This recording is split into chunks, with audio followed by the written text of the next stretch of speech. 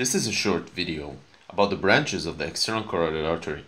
But first, let us familiarize ourselves with the carotid system. Here we have the common carotid artery. This is the right side and this is the left side. This is the common carotid.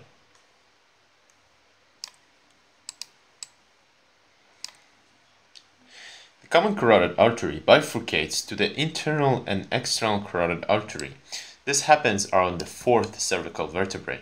So let's have a look. So this is the internal carotid artery and this is the external carotid artery. This is the right side and this is the left side. So this is the internal carotid artery and this is the external carotid artery.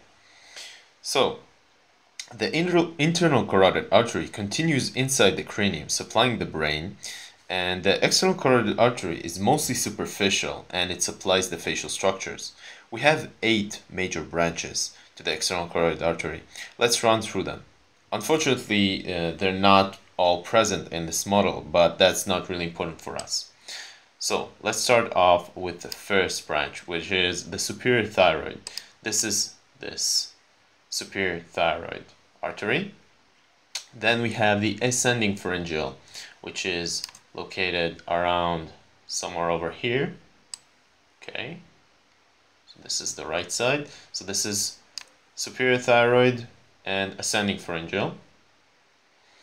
Then we have the lingual artery, which supplies the tongue, which is supposed to be somewhere over here. It's not seen in this model.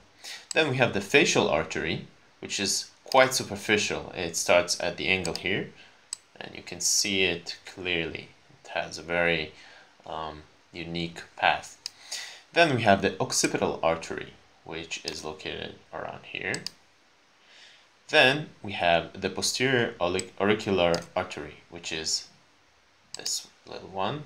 Whoops. This little one over here. Then we have the maxillary artery, which we have a separate video of, which is located right over here. Then we have the superior, uh, sorry, superficial temporal, which is located right over here.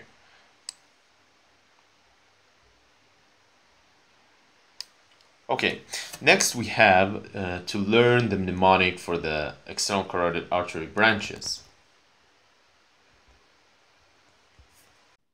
So a very nice mnemonic I like to use for the external carotid artery is some anatomists like freaking out poor medical students. So if we take the first letter of each and every word, we can form a branch. So S forms the superior thyroid, A forms the ascending pharyngeal, L forms the lingual, F forms the facial, O forms the occipital, P forms the posterior auricular, M forms the maxillary, and S forms the superficial temporal artery.